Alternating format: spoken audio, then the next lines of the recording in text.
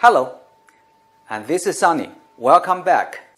In the TCP/IP world, why do we use both IP and MAC address? In order to answer this question, we need to answer these two questions first. One, what happens if we just use MAC address alone?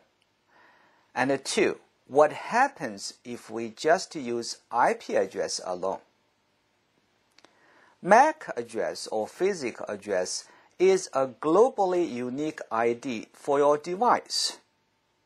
The MAC address is useful and efficient, more efficient for communication on a small network as each device can broadcast to find and communicate with its uh, physical address. One analogy is like you want to talk to classmate Bob in the same physical classroom. You do not need to know Bob's mailing address, which is similar to IP address.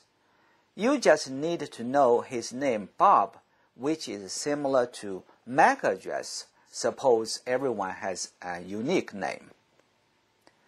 Since IP address can change, it only indicates where you are but does not know and who you are.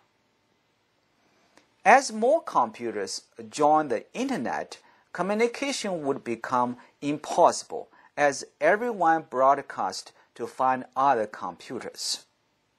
Second, MAC address is burnt with hardware NIC card. If something wrong happened to the hardware NIC, all the existing connection would be lost. IP address on the other hand, is flexible and IP addressing can group and organize different networks. The IP address is very much like your mailing address. It tells where to find you. One great advantage of IP address is that it can change, which allows your computer to be mobile.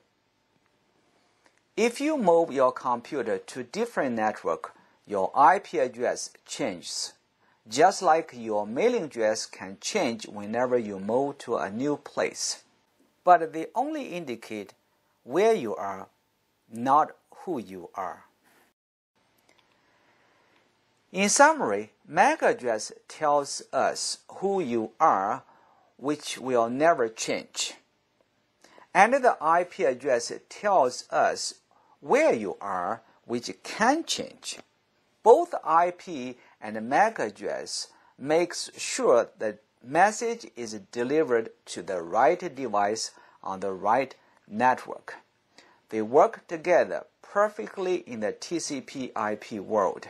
I hope this video is helpful. Thank you very much and see you next time. Oh, don't forget to subscribe.